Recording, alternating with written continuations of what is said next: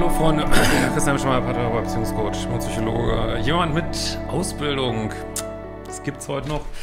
Und ja, wir werden mal wieder eine Dating-Situation ähm, besprechen. Ähm, nächsten Monat geht wieder einiges los. Äh, wollte ich noch darauf hinweisen, äh, ein Verlusttageskurs, der neue, immer noch zum Frühbucherpreis. Äh, Selbstliebe-Challenge und auch die Manifestations-Challenge und natürlich meine ganzen Basic-Programme, die es immer gibt. Ähm, ja, heute haben wir, äh, gab es ja neu schon mal ein Video zu, ein Video zu Fremdgehen. Also der Partner ist äh, fremdgegangen und ähm, ja, also wenn manches nicht probieren würden, da wieder klarzukommen, gäbe es keine Paartherapien oder fast keine. Also ähm, das muss immer gucken, muss immer unterscheiden, chronisches Fremdgehen oder gleich am Anfang geht schon alles schief zu Sachen, die vielleicht in späterem äh, Zeitpunkt passieren. Ich empfehle auch wirklich nachdrücklich auch das umsonst meine zwei Videos Umgang mit Fremdgehen und Leute, ich kann euch nicht immer alle Links raussuchen. Wir schreiben mir Leute, schickt doch mal den Link. Leute, geht einfach auf meinen YouTube-Kanal, gebt ja Umgang mit Fremdgehen ein oder Umgang mit Fremdgehen, Hemschemeyer. Die gebratenen Tauben fliegen nicht in den Mund. Und ähm, ja, heute, was wir heute sehen werden, ist, äh, ja, das ist natürlich immer scheiße, wenn man betrogen ist und auch wenn man das wieder hinkriegen will. Einer der größten Fehler, den man machen kann, ist, sich zu viel zu bemühen. Weil du bist ja nicht fremdgegangen, soll der andere sich doch bemühen, äh, soll der andere doch die Drecksarbeit machen. Äh, pff, da natürlich kann man mal im zweiten Schritt, aber das sage ich alles in diesen beiden Videos, irgendwann mal gucken, wie ist die Beziehung, die Ehe überhaupt hingeschlittert. Aber am Anfang ähm, kann man sich als Betrogener eigentlich entspannt zurücklegen und gucken, was denn andere jetzt da an Feuerwerk abbrennt, weil ja, du hast es ja nicht gemacht. Aber da haben viele unheimlich Probleme mit, weil man dann zu lieb, zu nett ist. Und ähm, ja, hören wir uns das hier mal an von äh, Rini Renetschkola. Hallo Christian, ich weiß noch nicht, ob ich in diesem Rahmen überhaupt eine Antwort bekomme, aber ich versuche mal mein Glück. Äh, könnte etwas länger Mail werden. In meinem Fall geht es zwar nicht um eine toxische Beziehung, allerdings gab es einen Seitensprung seitens meines Partners. Äh, unsere Beziehungen liefern sich immer super gut. Wir sind uns auf Augenhöhe begegnet, waren immer ehrlich miteinander und konnten gut miteinander versprechen. Alles hat auf den ersten Blick gestimmt. Ja, das, was ich, das, was ich meine, das ist jetzt, ich vermute mal, seid auch schon länger zusammen. Ist es nicht gleich nach äh, 90 Tagen schon alles schiefgelaufen, du bist nicht schon nach zwei Wochen betrogen worden. Äh, ja, äh, jetzt schreiben, haben mir viele geschrieben bei dem letzten Video der Art, ja, sie würden da auch auf jeden Fall Schluss machen. Ja, können, ist total in Ordnung. Auch das ist eine Lösung dieser Situation. De facto machen aber viele Menschen nicht sofort Schluss und dann doch äh, überlegen doch, ob man da nicht äh, wieder zurechtkommen kann, ähm, weil äh, ja, die Welt in toxischen Beziehungen ist schwarz-weiß, außerhalb von toxischen Beziehungen ist sie nicht ganz so schwarz-weiß, äh, aber man kann sie natürlich trotzdem schwarz-weiß machen und die Sachen genauso handhaben wie in toxischen Beziehungen, aber viele tun es halt nicht so, ne? Ähm, da ich mich mit dem Thema Fremdgehen verzeihen stark auseinandergesetzt habe, habe ich mich auch mit meinen Macken beschäftigt. Sie, also für mich fängt die E-Mail schon, also ist jetzt keinerlei Kritik oder so, aber nur um das mal zu besprechen, schon falsch an, weil du fängst sofort an, dich mit dir zu beschäftigen. Das ist aber Schritt 728 in diesem ganzen Prozess. Äh, anstatt erstmal klare Grenzen zu ziehen äh, und den anderen erstmal arbeiten zu lassen. So, ne? Kann ich schon gleich vom ersten Satz, kommt das schon so ein bisschen so rüber. Äh, leider muss man an diesen Jahr ins Auge blicken, sollte man sich dazu entscheiden, dem Partner verzeihen zu wollen. Ja, aber nochmal, wie ich auch in diesen beiden Videos äh, Umgang mit Fremdgehen ausgelegt habe, verzeihen ist der quasi der allerletzte äh, Schritt oder der vorletzte. da müssen andere Sachen kommen und die äh, sind großen Teil nicht in deiner Verantwortung. So, ne? Äh, wichtig zu erwähnen ist, dass ich mir nicht die Schuld für die schreckliche Aktion an sich gebe, sondern Verantwortung für die Gefühle übernehme, die ich unterbewusst in ihm ausgelöst haben muss. Ja, stehe ich mir die Haare zu Berge, ey. Auch dieses, ich weiß, das war früher alles, oder auch manche finden das immer noch modern, dieses ganze, ja, ich bin für meine eigenen Gefühle verantwortlich. Ich sag's gern nochmal, wenn dir jemand ins Gesicht kotzt und du findest das nicht gut und der dann sagen würde, ja, ich bin nicht für deine Emotionen verantwortlich, sorry, und du hast nicht abkannst, dass man dir ins Gesicht kotzt, ähm, das ist nicht mein Problem. Dann ist das so eine Art von, ich weiß nicht, ob der das macht, aber das ist so eine Art von Gaslighting oder eine Gaslighting, was du mit dir selber machst, äh, dass du dir doch irgendwie eine Schuld gibst. Ähm, aber man muss immer, ähm, Schuld ist sowieso ein ganz schwieriges Konzept, aber mir geht es immer um Verantwortung. Der Partner muss Verantwortung übernehmen.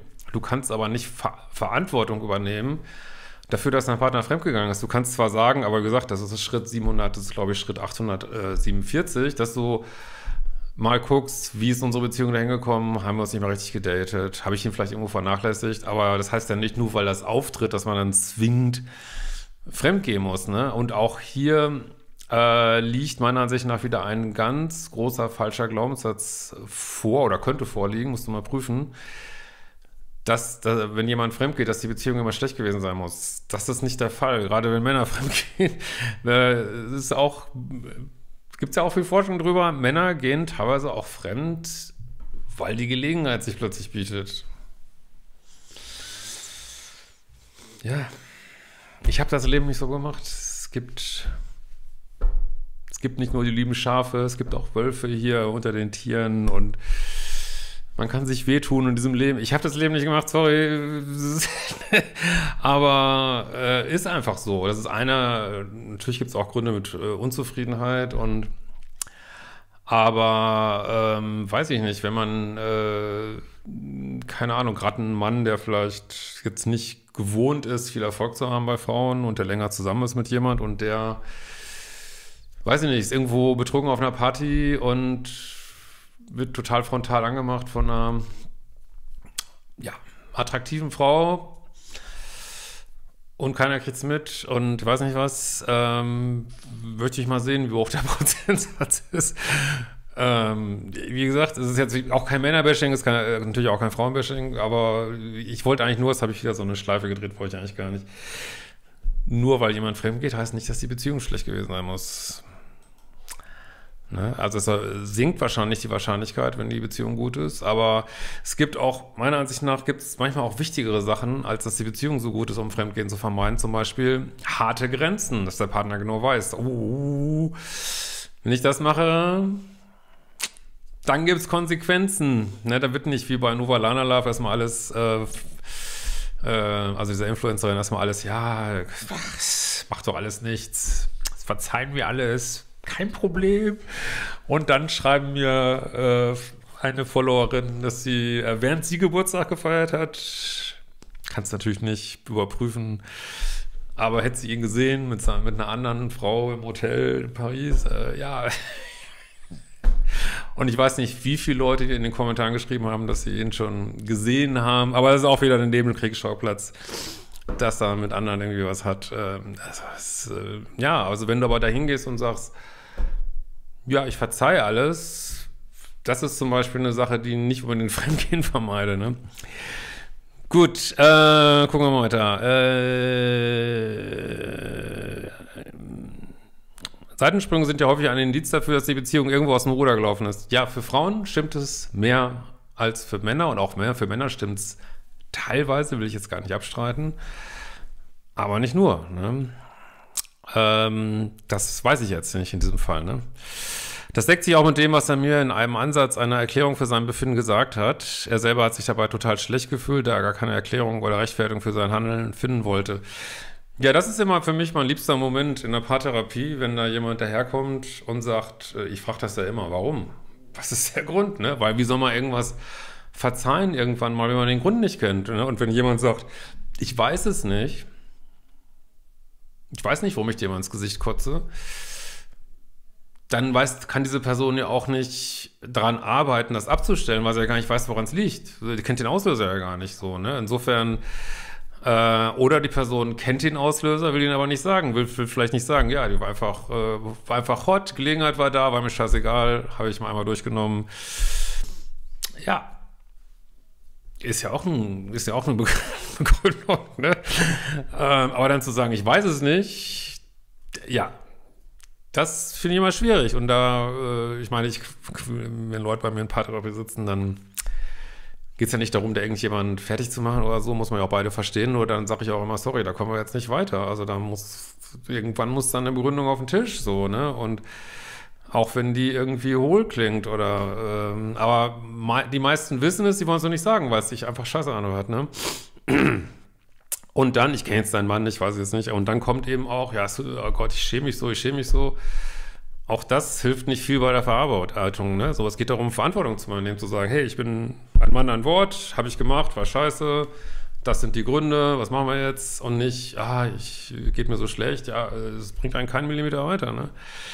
Ist vielleicht schön zu hören für dich und ist ja auch schön, dass es bereut, aber äh, für die Verarbeitung, ich will jetzt nicht sagen, dass es gar nichts hilft, aber es äh, wäre natürlich doof, wenn er es gar nicht bereuen würde. Aber äh, so richtig was weiterhelfen tut dir jetzt nicht, ne? In der letzten Zeit unserer Beziehung, circa drei Wochen, bin ich vermehrt in die emotionale Abhängigkeit gerutscht. Ja, das ist ja äh, verständlich. Ne? Ich meine, Rejection breeds Obsession, also Zurückweisung und eine Affäre ist auch eine Zurückweisung, ähm, brütet äh, Obsession, äh, ja, das ist so. Und das, deswegen ist es umso wichtiger, äh, klaren Kopf zu behalten und äh, das kann man auch alles lernen, ne? Also ich, ich mache die fucking Kurse oder was weiß ich, wo ihr das lernt, also. Aber arbeitet wirklich an eurer, oder den Verlustangskurs, arbeitet an eurer emotionalen Abhängigkeit so, ne, weil die steht euch so im Wege in der Beziehungsgestaltung. Ne? Und das sind genau diese Momente, wo man einfach dann sich vielleicht schon mal vorher mit beschäftigt haben muss oder auch einfach nur den Liebescode mal lesen. Ne? Mein erstes Buch, der Sauer ist drin. Und dann weiß man, oh, okay, jetzt muss ich hier harte Grenzen setzen und äh, alles klar und jetzt nicht irgendwie versuchen zurückzukriegen. Also emotionale Abhängigkeit ist total menschlich in so einer Situation, aber ist das, was einem am wenigsten weiterhilft. Also, ne? Ähm, ich hatte auch das Gefühl, dass etwas nicht stimmt, wenn wir uns nicht sehen oder dass ich ihn brauche, um glücklich zu sein, Anführungsstrichen. Totaler Quatsch, das weiß ich auch nun. Äh, da scheint ihn unter, bewusst unter Druck gesetzt zu haben, mir gerecht werden zu wollen. Ja, aber wenn er dir gerecht werden wollte, wird er doch nicht fremdgehen, oder? Aufgrund meiner Lebensgeschichte, mit der ich immer sehr offen umgegangen bin und sowas beschäftigt den Partner leider auch mehr als man denkt, fällt es mir manchmal schwer zu vertrauen. Ja, Gott, wem fällt das nicht schwer, ne? Äh, ich habe mich auch oft in Verlustängsten ertappt, allerdings arbeite ich diese Dinge auch schon echt lange in einer Beratungsstelle auf. Super, hey, super gut. Genau, und ähm, mein Rat ist ja immer so, also es ist so mein Ende dieses Zipfels sozusagen, ist nicht nur nach innen zu arbeiten, das ist auch ganz wichtig, ne, ist super, sondern auch nach außen, so ganz klare, auch wenn man sich da nicht nach fühlt, klare Grenzen zu setzen, so, ne. Also, und das ist ja auch Teil in meinem Selbstbehauptungskurs, der uns auch gerade noch läuft. Könnt ihr auch noch, ja, könnt ihr auch dieses Wochenende noch einsteigen. Ähm, dass ich sage, du kannst natürlich ewig an deinem Selbstwert arbeiten, oder du gehst einfach hin und übst mal, tak, tak, tak, tak, tak, ich lasse jemand an der Schlange nicht vor. Ich frage mal, ob ich vor darf in der Schlange. Ich, ähm, ich frage mal, ich mache diese Shame-Attack-Übungen, ne? ich frage jemand nach Geld oder was weiß ich, einfach um dieses abzubauen äh, diese Angst vor Scham und so und direkt an dem Verhalten zu arbeiten, ohne dass du, äh, weiß ich nicht, zehnmal dein inneres Kind jahrelang, äh, jeden Tag zehnmal dein inneres Kind aufmalen musst, sondern das machst, kannst du auch machen, ist auch alles gut. Aber direkt, direkt am Verhalten zu arbeiten, das empfehle ich auch hier, ne? Äh, zu sagen, ja, auch wenn ich mich danach fühle, trotzdem setze ich klare Grenzen so, ne? Und was, was heißt das jetzt? Natürlich, dass das aufhören muss, das wissen wir jetzt alles nicht, wie das so ist. Aber auch, dass du sagst, hey, ich gucke jetzt mal, irgendwann gucke ich bestimmt mal gerne bei mir. Lass uns mal Paartherapie machen, was weiß ich, aber äh, sorry, ich werde dir jetzt nicht die Arbeit abnehmen und äh, muss jetzt auch nicht hier mit dem, ich weiß jetzt nicht, ob das passiert, ich projiziere jetzt einfach mal, ne? Hier mit dem Dackelblick ankommen und, oh, ist mir so leid, äh, sondern, nee, ich will jetzt Fakten, Fakten, Fakten, Fakten, Fakten haben, so, ne? Und ich will sehen, dass du das, du das aufarbeitest, dass du mir zeigst, ähm, ja, dass wir weiter in eine Beziehung ankommen. Ich finde es zum Kotzen irgendwie, ne? Also dann, ja, spul mal dein Programm ab, ich sitze hier und warte, ne? So, ne? Ähm, in letzter Zeit ist es mit scheinbar nicht so geklappt, bin wieder ein alte Muster gefallen. Das ist mir nun sehr bewusst. Ja, aber das ist nicht dein, das ist doch schon die Reaktion darauf, oder verstehe ich das jetzt falsch, dass er weggedriftet ist. Also, das ist doch jetzt nicht andersrum, dass du Zweifel bekommen hast und dann sagt er sich, oh, jetzt hat sie gerade Vertrauensprobleme, jetzt gehe ich mal extra fremd oder so, ne? So ist das doch gar nicht. Du hast es doch vorher schon gespürt. Wir wissen jetzt auch gar nichts um die ganzen Umstände hier. Und das hatte ich doch nicht Verlustangst gebracht. Oder nicht? Oder ich es falsch verstanden? Ähm, wie dem auch sei, ich habe mich, nachdem ich mich intensiv damit beschäftigt habe, entschlossen, ihm zu verzeihen. Also so, vielleicht fehlen mir jetzt hier entscheidende Informationen, viel zu früh. Das ist Schritt 1768 vor dem ersten Schritt, so, ne? Ähm, und den einmaligen Seitensprung als eine Art Neustart anzusehen. Das ist ja grundsätzlich richtig. Das sind wichtige Schritte, aber das kann erst passieren, wenn dein Partner vollständige Verantwortung übernommen hat und sich auch mal ein bisschen abgearbeitet hat an dir, so, ne? Ähm, und ich gesagt, ich kenne, mein Gott, vielleicht ist er mal äh, sturzbesoffen, ist irgendwas gelaufen auf der Skifreizeit. Äh, ja, Menschen machen Fehler. Ich finde auch, man kann das grundsätzlich äh, verzeihen, aber nicht einfach so, ne? Da muss der andere, also jetzt fallt nicht in diese Falle von ich verzeihe alles, sondern ja, der andere muss sich das verdienen, so, ne? Dass du ihm das verzeihst, so, ne? Mein Partner geht es richtig, richtig schlecht. Er kann mir nicht in die Augen sehen, ähm, weint vor seiner Halmer-Mannschaft, weil er nicht weiß, also steht natürlich was anderes hier, ne? Weil er nicht weiß, wohin mit sich. Ja, ich will das auch gar nicht abstreiten. Das ist ihm, ich will es auch gar nicht sagen, dass das wie gesagt, ich, hier sind relativ wenig Informationen. Vielleicht ist es wirklich überhaupt nicht gefaked und er leidet wirklich so und ich will das überhaupt nicht in Abrede stellen, aber das, äh, das ist nicht das, was wir hier haben wollen. Was wir hier haben wollen, ist Verantwortung übernehmen und sagen, es, gibt die und die Gründe, warum ich das gemacht habe. Und auch so beschissen, wie sich das anhört. Deswegen habe ich das gemacht. Und äh, man, was man hier schon sieht, ist, ähm, meine schon eine gewisse Unruhe zu bemerken, dass er dich vielleicht verlieren könnte. Und das ist auch gut, finde ich. Ne? Also, äh, aber wie gesagt, das, äh, vielleicht, vielleicht fehlen jetzt auch Informationen hier, dass man das nicht so, dass man vielleicht sagen würde, wenn die Informationen da wären, ja, jetzt seid ihr an dem Punkt, ich weiß es nicht. Aber kannst ja mal gucken, was du aus dieser E-Mail hier so rausziehen kannst, was ich hier vorlese.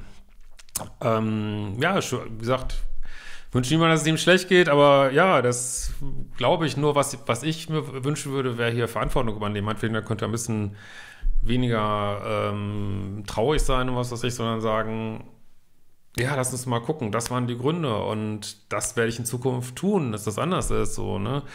Und ich würde gern das und das tun, um das wieder gut zu machen. Das fehlt mir hier so, ne?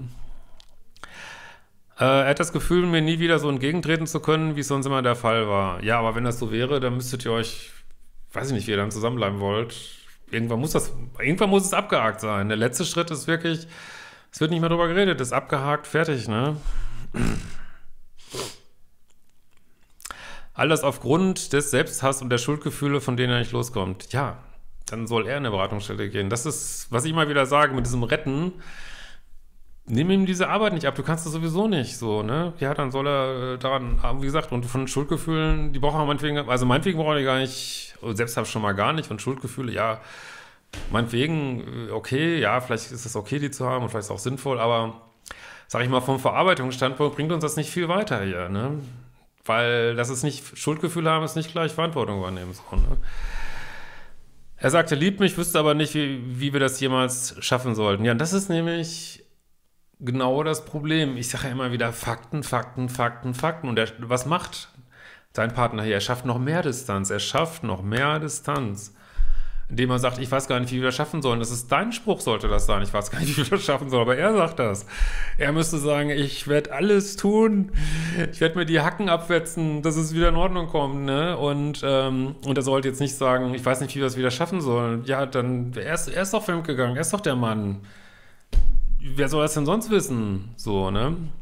Also, Frau Kon also, ja, ihr versteht das schon. Ähm, und äh, anstatt schafft er jetzt noch mehr Distanz. Und da frage ich mich schon, gibt es nicht vielleicht noch andere Gefühle, die er nicht sagt? Weil ich, wie gesagt, rein, projiz rein ich weiß es nicht manchmal gibt es ja auch noch Gefühle für, diese, für so einen Seitensprung und äh, vielleicht denkt er deswegen, ich weiß nicht, wie er schafft. Also vielleicht sagt er nicht genau das, was er denkt. So ist natürlich auch menschlich, aber ähm, äh, ich bin zuversichtlich und entschlossen, er verängstigt und eingeschüchtert. Ja, und es sollte eigentlich, ich will nicht sagen, es sollte andersrum sein, aber er sollte zuversichtlich und entschlossen sein und du unsicher eigentlich. Oder ich habe irgendwas falsch verstanden hier. Er weiß nicht, was er will, scheint sich irgendwie selbst im Weg zu stehen. Ja, aber wenn dein Mann nach dem Fremdgehen oder dein Partner immer noch nicht weiß, was er will, dann würde ich mir an deiner Stelle Gedanken machen, wo soll denn das enden? Äh, denkt jetzt noch drüber nach, ob das vielleicht doch eine gute Idee war, dieser Seitensprung war. Aber gut, ich bin wirklich, ich muss auch wirklich sagen, ich, diese ganze Arbeit hat mich auch ein bisschen kaputt gemacht, dass ich, oder auch meine eigenen Erfahrungen im Leben, dass ich viel mehr immer überlege, okay, was könnte, was könnte da vielleicht noch jemand meinen, was er nicht sagt und was vielleicht nicht so positiv ist. Ich habe das früher alles immer viel positiver gesehen, jetzt sehe ich es eigentlich immer eher vom Negativen, weil ich immer denke, was kommt denn jetzt noch alles raus? Ähm, aber vielleicht bin ich da auch zu krass. Kann, könnt ihr ja mal kommentieren.